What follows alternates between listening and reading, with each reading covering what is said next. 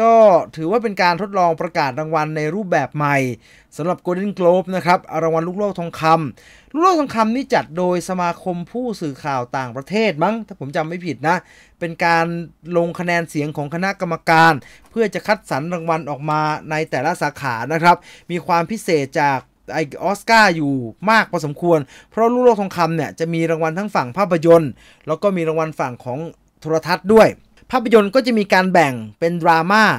ก้อนหนึ่งเป็น musical and comedy อีกก้อนหนึ่งก็แยกกันไปนะครับ พลิกล็อกพอสมควรครับ แต่เป็นพลิกล็อกที่ก็พูดตรงๆ ไม่ค่อยหือค่อยอือเท่าไหร่นะครับคือว่าผมไม่ค่อยได้ดูหนังนะฮะหนังมันได้ดูน้อยไปหน่อยก็เลย ไม่ได้ไปตื่นเต้นแล้วก็ไม่ได้ลุ้นกับมันเท่าไหร่นะครับ Nomadland บ้านเราก็ไม่ได้เข้ามั้ง ไม่รู้มันถึงจังหวะเข้าหรือว่ามันเลยจังหวะเข้าไปแล้วนะครับ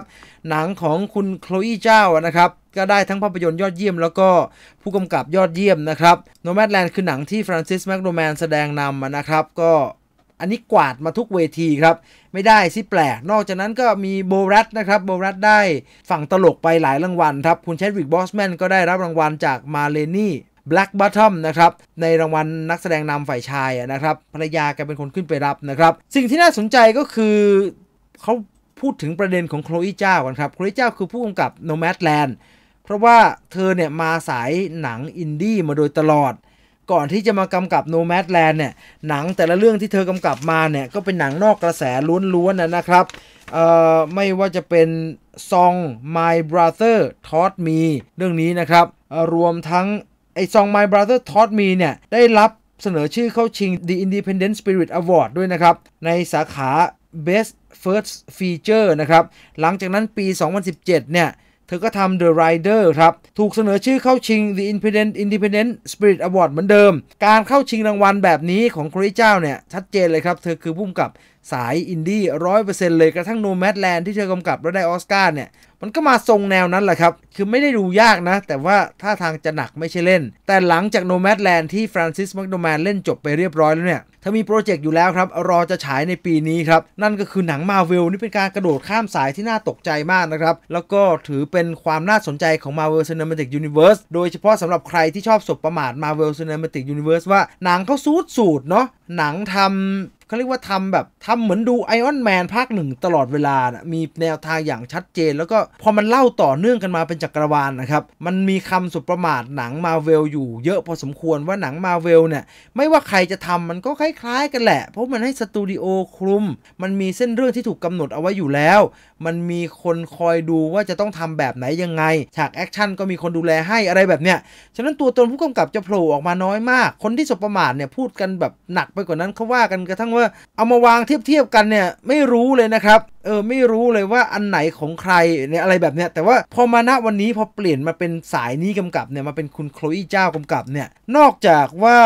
ตัวหนังมันจะออกมาดูแบบมีความน่าสนใจว่ามันจะเป็นยังไงวะเขาจะเขาไม่น่ากดทับสไตล์หนังที่ผู้กำกับซึ่งมาจากสายอินดี้ทำได้นะฮะเขาต้องมีเจตนาอะไรค่อนข้างเยอะแหละ ที่จะดึงผู้กำกับที่มาจากสายนี้มาเป็นคนกำกับนะครับ ยิ่งกว่านั้นการได้ Chloe Zhao มากำกับเนี่ย ผมได้อ่านข่าวอ่านสัมภาษณ์ Angelina Jolie มาเนี่ยเขาบอกว่า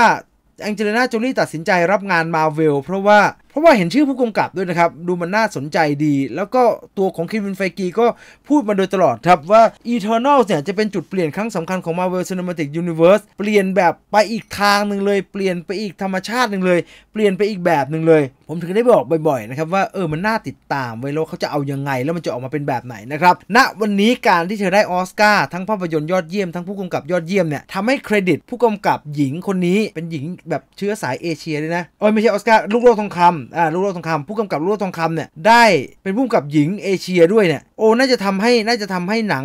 เรื่อง Eternal ของ Marvel ดูน่าสนใจขึ้นอีกหลายเท่านะครับ ดีนะมาได้รางวัลหลังจากน่าจะถ่ายเสร็จไปแล้วไม่งั้นโอ้โหไม่งั้นคงมีโชว์พลังกันได้อะไรได้อีกเยอะแยะนะครับ นี่เป็นความคาดหวังนะครับ พอเป็นแบบนี้แล้วเนี่ยเราคาดหวังทันทีนะครับว่า Eternal จะต้องมาแบบทีเด็ดแน่ๆหวังว่าจะไม่เป็นเหมือนเคนเนตบรานักกำกับทอนะ เออเหมือน Ryan Coogler กำกับ Black Panther อย่างเงี้ยโอเค เข้าท่า คือไอ้พวกไอ้พวก James Gunn อะไรพวกนี้มันเข้าทางอยู่แล้วเนาะมันแบบว่ามันแบบมันเป็นสายนั้นอะโชงช่างไอ้ Jon Favreau อะไรพวกเนี้ยพี่น้อง Russo จริงๆพี่น้อง Russo ก็เหนือเหมือนกันนะ ไม่รู้ว่าจะเป็นแบบนี้เหมือนกันนะ เออเอาไอ้พวกนั้นสิกำกับไอ้พวกเมทริกอะเออ น่าจะดี ซึ่งถ้าอันนี้สำเร็จเนี่ย เราคงได้เห็นรายชื่อผู้กำกับ เจ๋งๆ ดีๆ อีกหลายคนแหละครับ ที่จะมากำกับหนังมาเวลแล้วก็หวังว่าเราจะไม่ได้ยินคำว่าครีเอทีฟของ Chloe Zhao ไม่ตรงกับสตูดิโออีกนะฮะ ถ้า Eternals สำเร็จแล้วจะทำภาค 2 เนี่ย เราได้ยินแบบนี้บ่อยเกินไปแล้วฮะ จาก Marvel Cinematic Universe เนี่ย กระทั่งผู้กำกับไอ้เนี่ย ผู้กำกับหญิงเหมือนกันนะ ผู้กำกับ Wonder Woman อะ เธอก็จะกำกับทอนะครับ ตอนแรกเธอจะกำกับทอ Dark World แล้วครีเอทีฟไม่ตรงกับสตูดิโอ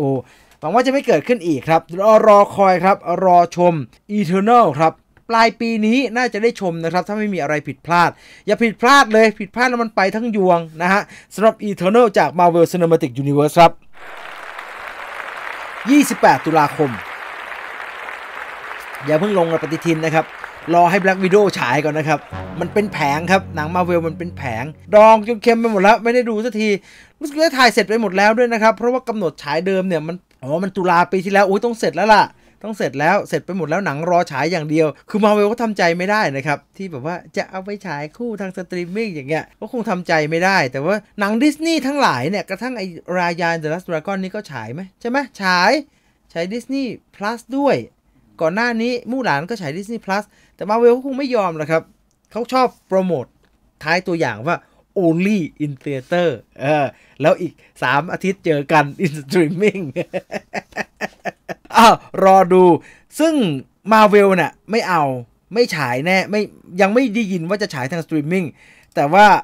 วอร์เนอร์เอาแน่ครับเรากำลังจะพูดถึงก็ซิล่า vs คองนะครับอันนี้ก็ทะเลาะกันมาเยอะครับ ว่าจะเอายังไงดีไม่อยากฉายสตรีมมิ่งเลยอยากจะฉายแต่โรงใหญ่ ไม่เอาละฮะยังไงก็ต้องฉายแล้วครับ ถ้าไม่ฉายถ้าไม่ฉายปลายเดือนนี้ ใช่ไหมปลายเดือนนี้ไม่ได้ครับ ตอนนี้โรงหนัง ทั่วโลกทั่วทั่วประเทศไทย บนก็ซิล่ากับคิงคองอย่างเดียวครับมันน่าจะเรียกคนกลับมาเข้าโรงได้เยอะครับ เพราะว่านอกจากความน่าสนใจของหนังที่เราเห็นในตัวอย่างเนี่ย แล้วนี่โปสเตอร์จีนนะฮะโอ้โหโคตรตื่นเต้นโคตรอลังการเลยอะคือเราทำตัวอย่างถอดรหัสกันกี่รอบนะครับ พูดถึงหนังก็ซิล่า vs คองกันกี่รอบ ผมรู้สึกได้ตลอดครับว่า เอ้ยก็ซิล่า vs คองคราวนี้เนี่ย คนดูบ้านเราตื่นเต้น กับหนังไอ้ Monsterverse มากกว่าปกติเยอะนะ ก่อนหน้านี้ทั้งก็ซิล่าคองสกอร์ไอแลนด์ไปจนถึงก็ซิล่า King of the Monster นะครับ คนก็ชอบนะครับ คนก็ตื่นเต้นตอนหลังจะเข้าฉายนะ แต่พูดก็พูดนะครับ ตอนทำคอนเทนต์มาเนี่ย มันไม่ฮือไม่ฮาไม่ไม่เท่าตอนนี้ครับ ตอนนี้เหมือนทุกคนก็หายอยากมากเลยอยากจะดูก็ซิล่า vs คองมากเลยอะแล้วยิ่งไปกว่าการจับด้วยความรู้สึกของตัวเองนะครับ มีการทำสำรวจครับทางแอปพลิเคชัน TV Time เขามีการทำเหมือนกับว่าหนังเรื่องไหนดึงดูดแล้วคุณอยากดูที่สุดเรื่องไหนเนี่ยไอ้ก็ซิล่า vs คองเนี่ยได้คะแนนคนอยากดูแล้วคนตั้งความคาดหวังสูงที่สุดในเดือนมีนาคมนะครับอันเนี้ยคือการนับยอดรวมทั้งคนที่จะได้ดูทางสตรีมมิ่งแล้วก็คนที่จะได้ดูไอ้ที่จะฉายในโรงภาพยนตร์นะครับ ในอันดับเนี่ยก็ซิล่า vs คองเป็นอันดับหนึ่งนะครับ อันดับ 2 ที่คนอยากดูสงสัยจะเครียดโควิดกันครับ เพราะว่าอันดับ 2 เป็น SpongeBob SquarePants ภาค 2 นะฮะ SpongeBob The Movie ภาค 2 ในขณะที่อันดับ 3 หนังที่คนคาดหวังอาจจะเป็นหนังจากหนังสือที่ผมว่าหลายคนตอนนี้มองข้ามนิดๆฮะเพราะว่ามันคือ Chaos Walking ฮะ เพิ่งขึ้นสกู๊ปไปนะฮะ Chaos Walking หนังของทอมฮอลแลนด์ อันนี้เข้าใจได้อะครึ่งหนึ่งคือมันเลื่อนมา เออ มันเลื่อน มันเลื่อนมาหลายครั้งแล้ว มันไม่ได้ฉายสักทีทั้งโควิดบ้างไม่โควิดบ้าง มันคือหนังที่ทอมฮอลแลนด์เล่นกับ